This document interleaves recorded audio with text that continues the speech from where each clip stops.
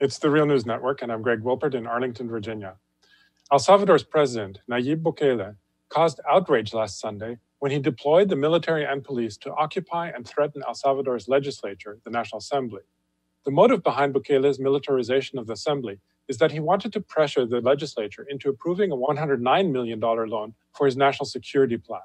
The plan intends to modernize El Salvador's police and armed forces with advanced technology. Even right wing National Assembly deputies from the Arena party objected to Bukele's action. National Assembly President Mario Ponce called it a coup attempt. Ever since the 1992 peace agreement between the government and the left wing rebel movement FMLN, El Salvador's military is strictly prohibited from becoming involved in the country's internal affairs. Even though the police and military have since withdrawn from the legislature, Bukele continued to issue threats against the National Assembly and its members. Nayib Bukele once was a mayor of San Salvador for the FMLN, but the party expelled him in 2017.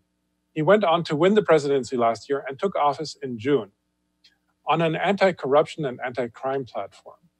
Since then, he has repeatedly sided with the Trump administration on issues involving immigration and regional security. Joining me now to analyze the current situation in El Salvador is Yesenia Portillo. She is an organizer with the Committee in Solidarity with the People of El Salvador, CISPES, and joins us from Washington, D.C. Thanks for being here today, Yesenia. Thank you for having me. So let's start with um, uh, some more details about what happened last weekend when the military and police took over the National Assembly. What were they hoping to achieve exactly, and why did the action cause so much outrage, even among the right, um, even though Bukele himself has been governing from the right? Nayib Bukele's stated purpose for um, uh, calling for an insurrection, actually, also, and for um, calling, bringing out the military to um, governmental offices um, was to pressure the National Assembly to uh, approve uh, the requested loan that you mentioned. Um, I think uh, ulterior motives that have been pointed to by uh, political analysts in El Salvador and social movement leaders in El Salvador um, have been has been that you know he's deflecting um, and trying to turn attention away from criticisms that are being made against his administration um, for their inability to um, particularly the, the, there's been a situ there was a situation in, in weeks prior um, where the uh, capital was um, a, lot of neighborhoods in the capital were uh, experiencing inadequate water administration and they were uh, there was like brown water coming out of their of their tap. So there's been some folks that um, are linking kind of this uh, situation to um, the questioning of his administration for his handling of of that situation with water.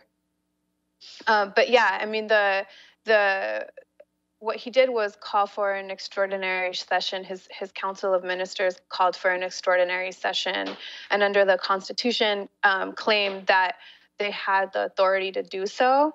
Um, but actually, um, you know, political analysts and the, the Supreme Court themselves have said that um, the the uh, that article of the Constitution, Article 167, um, can only be invoked in uh, situations of national security and national emergencies such as war or um, uh, environmental disasters, for example, and that uh, the approval of a loan doesn't justify um, the Council of Ministers to call for an extraordinary session.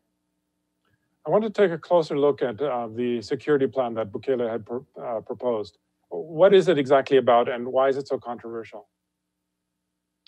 Uh, yeah, so the security plan, this this is actually um, a second hundred the first he this is a second loan that he's requesting. Um, he had already previously requested 90 million dollars um, for his second phase of the security plan and is now requesting another 100 million dollars. Um, and in addition to these loans that he's requesting which amount to 200 million dollars um, that are both currently being um, debated and analyzed and negotiated by the Legislative Assembly, which is the body that the Constitution sets out um, has the uh, authority to approve such loan requests coming from the executive. Um, in addition to those loans, there's um, his budget for this year also increased um, military and security, um, the military and security budget by an additional $200 million from the previous year. Um, so uh, that that budget totals 750 million without these loans, and that's a 200 million dollar increase. Um, and so we're looking at 400 million dollar increase with these loans if they get approved. Um, and I guess the question is if they're controversial, if the security plan is controversial. Um, what it is is at this point somewhat unclear. Um, and it is not necessarily something that's uh, a divergence from uh, the way in which previous administrations have addressed um, crime and insecurity in El Salvador. Um, it's not what they call like mano dura policies or policies that are very punitive that rely heavily on um, the, mili- the, militarization of police and um, policing heavily and surveilling heavily, heavily of communities. Um, these things are not new. Um, these are things that um, in the past previous administrations have used, usually with a lot of pressure from uh, the U.S. government. Actually, you know, um, the U.S. government has historically uh, ex- spent a lot of money in the region um, to supposedly address crime and violence there um, through drug war policies. So, like um, the Central American Security Initiative and the Alliance for Prosperity um, are both um, sources of funding that require or that you know heavily um, incentivize punitive and military punitive measures and um, militarization and criminalization of marginalized communities as a response to crime and violence. And um, his plan is not a, like like I said, it's not a divergence from that. It's just an exa- exacerbation. Um, so for this uh, third phase that he's asking for the 109 million dollars for, um, yeah, it'll be um, uh, there's not a lot of transparency. There's a lack of information, actually, is, is what um, the social movements are denouncing.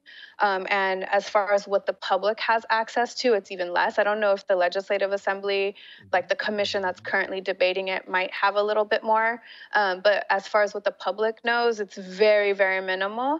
Um, but it includes, you know, thousands of security cameras, um, you know, about 100 drones, um, and facial recognition technology. Bukele's focus on crime is, of course, connected to a very rich, real issue, which is that crime is very high in El Salvador. Now, just last week, Human Rights Watch released a report about how at least 138 Salvadorans who the United States deported back to El Salvador were murdered upon their return. And Doctors Without Borders also released a similar report this week. Now, um, that the US is sending so many Central American refugees to their death by deporting them is a serious issue of its, of its own, of course. But why is crime actually so bad in El Salvador in the first place? That is, and um, and do others such as the FMLN offer a different solution than just modernizing the country's military and police?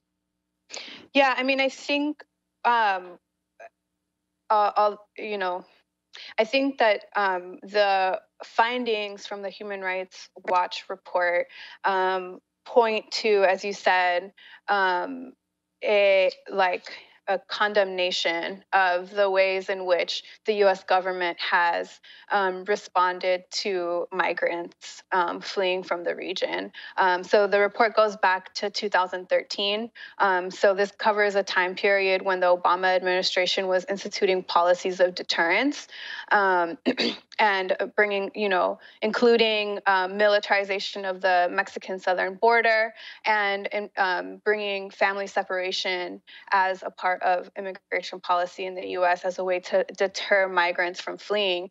Um, and so, what the Human Rights Watch report really shows us is that um, migrants were, are fleeing very legitimate um, threats to their lives. Um, and and of course, um, Trump's, you know, uh, increasing attacks against asylum seekers. Again, it's a condemnation of all of these things um, that uh, de- deportees are being sent back to um, their deaths.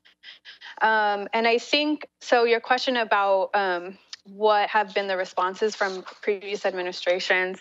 Um, the U, as I was saying earlier, the U.S. has played a major role in shaping the ways in which um, security is violence and security is addressed in, in El Salvador specifically. And um, the FMLN was hard pressed to find funding for alternatives to the issue, alternative solutions to the issue, and like holistic, um, integral solutions to the issue. Um, and they much, they were much, they were, they were um, pressured and encouraged to take money for um, militarization, surveillance, and these kinds of punitive measures. Um, they were able to implement um, some uh, increases in spending for um, for rehabilitation um, and uh, social programs more generally. Um, the under the FMLN, the country saw uh, uh, increase in social spending that was historic. Um, and so they had the view that, you know, uh, the way to address the crime and violence in the country um, has to include an addressing of the mass inequality that exists. Um, and and so, yeah, I think that it's really important to understand that um, the, U- the United States has um, been playing a major role, not just in El Salvador, but in Guatemala and Honduras and just in the region, um, in shaping um, uh, this this reality of violence and security. They've been spending hundreds of millions of dollars for at least a decade um, on drug war policies, and so what what has that, that really led us to? You know.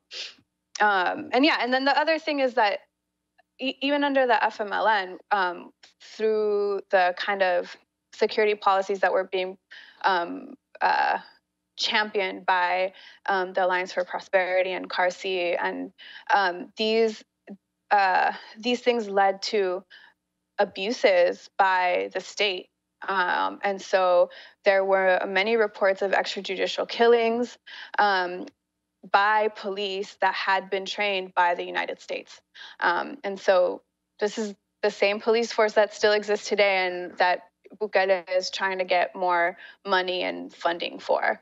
Um, and the Human Rights Report um, uh, indicates uh, that some of these victims were victims of the state. Okay, well, we're going to have to leave it there for now.